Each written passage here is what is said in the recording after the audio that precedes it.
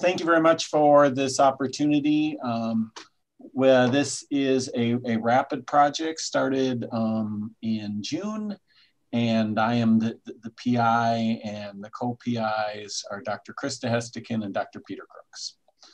Um, so what, what I wanted to to tell you all about first a little bit about is, is, is long-term disinfectants. So um, this project is to make long-term disinfectants for disinfecting hard surfaces, soft surfaces, lots of different surfaces. Um, we were working on an NSF project where we had, um, we're making TEMPO um, modified cellulose, so TEMPO oxidized cellulose. And we found that by attaching certain groups, we could get it to, to be a disinfectant. There is currently only one long-term disinfectant that has been approved for emergency use by the US EPA. Um, there's the website um, dealing with that. Normally it takes about 18 months to get a disinfectant um, approved. Um, this one was obviously approved faster because of COVID. Um, there is a need for long-term disinfectants for both bacteria and viruses for now and when COVID beyond. Um, we're working with the University of Arkansas Medical School on these long-term disinfectants. And what we're really looking at is all of what goes into this. What's the best chemistry? What's the best application procedures? And what sort of potential lifetimes can you expect from these surfaces? Um, and this started as part of his NSF score, as I said, so. And if my slide will advance, then we can, okay. So we started looking, we are making a lot of these different chemistries. I'm going to tell you, show you one specific result today. But the easiest way to make the chemistry is ionically bonded materials. Um, there is long lists of approved disinfectants for different viruses and, and, and bacterias. And you can take those dis disinfectants and ionically bond them to, to the surface, your own surface, and so then and coat that surface on onto whatever hard surface you want. So that's the easiest form. That's the form over here on, on, on the left. Um, the one of the, the more difficult forms is we have a something that will make a peracid. And so what this will do is it will make hydrogen peroxide over the course of time. Um, and so, so by, by doing that for, for long term, you can, you can put an oxidizing agent in which will destroy things. Um, so that's a material we're testing as well. And then the third one is to try to take these chemistries and covalently attach them to the TEMPO modified surface. We've uh, developed the ability to put click chemistry on the surface of these TEMPO groups. And so because of that, we can, um, we, we can really attach just about anything we want. And we're looking at some of the approved disinfectants for doing that.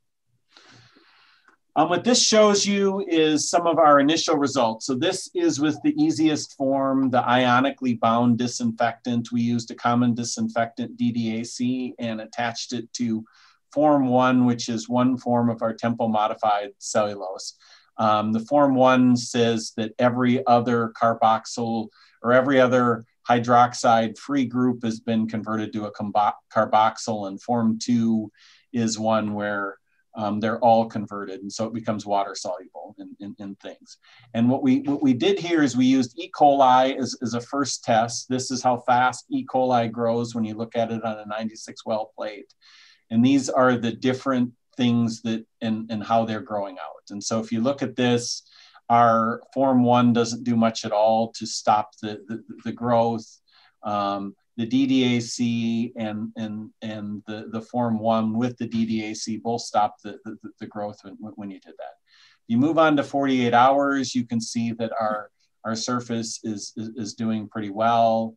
After a week, after two weeks, we're still seeing um, close to complete, uh, basically a, a com complete ability to destroy E. coli when we when we put it into the surface. And this has a lot of error bars because these are all 96 wells a piece that are doing this. And the reason I put it on here, gets kind of messy when you, when, when you do all that stuff. But over a two week time period, um, so far, we, we can see that these ionically bond surfaces work pretty well. As far as how they work on the surface, I'm gonna start a video here. Um, as you can see, and I, I guess the, uh, on, on this video, that we have a surface that we've coated this on with a, a, a spray sort of surface. Um, It is, it is a green spray surface because we put the colorant in. Um, we can scrape it, but if you just rub hard on it, it does not come off. If you spray it with water and a little bit of surfactant, on the other hand, you can get it to come off very easily. And um, uh, uh, eventually here in about five seconds, it's going to show that you can remove it all and your door handle looks the, the, the same way that, that you had before.